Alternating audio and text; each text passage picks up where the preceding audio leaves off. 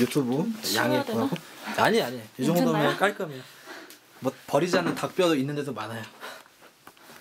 저, 자 여기가 아, 전세 5,500까지 되고 월세도 됩니다. 이사 언제 나가신다 그랬죠?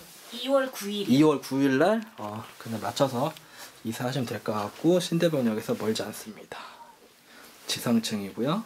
음, 관리비는 6만 원에 전기 가스 별도 옵션 풀옵션. 화장실 찍어도 될까요? 네네. 화 장실 좀 더러운데. 더러운 거 감안하고 봐주세요.